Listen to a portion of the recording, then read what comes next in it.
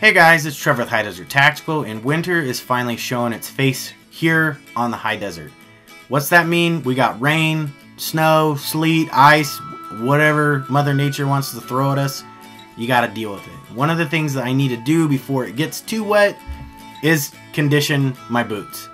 These are my Danner Corvallis GTXs. These boots I use for hiking, and I do use them for work.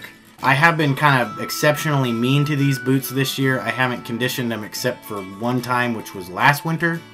And what the problem is, is since I use these for hiking, the dry weather and all the dirt and dust that we deal with here in the high desert is very harsh on the leather parts of this boot. Our dirt and sand and whatever's around here is actually a volcanic ash. And so it actually does have a lye content to it. So the lye will actually get into the boot and start breaking down the leather fibers.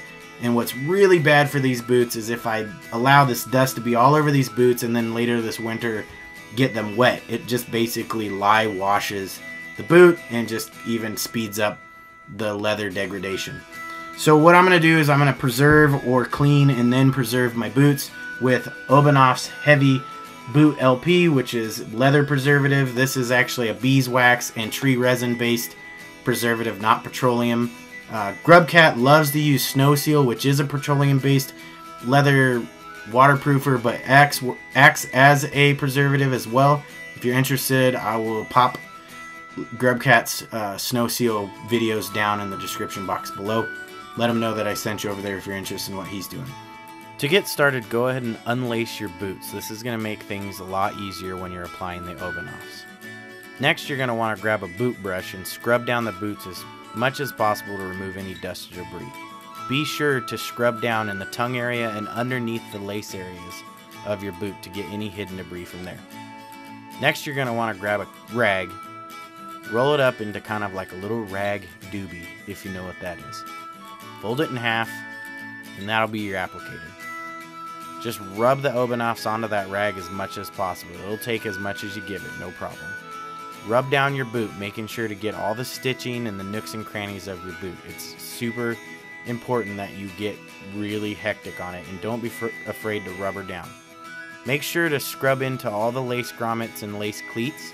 These areas take a lot of amount of pressure and stretching, so the more supple the leather, the more it's going to last. And again, don't forget to get underneath the lace grommet area and onto the tongue because that's a highly abrasioned area where your laces do a lot of stretching and pulling onto the boot, and that'll make it last a lot longer. Don't forget to scrub down deep into the corners and edges of where the leather meets the sole of your boot.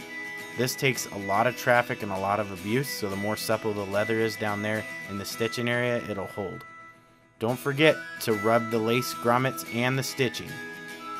Apply a lot of the LP to the boot toes because they take a lot of abrasion and this will really help preserve the boot toes.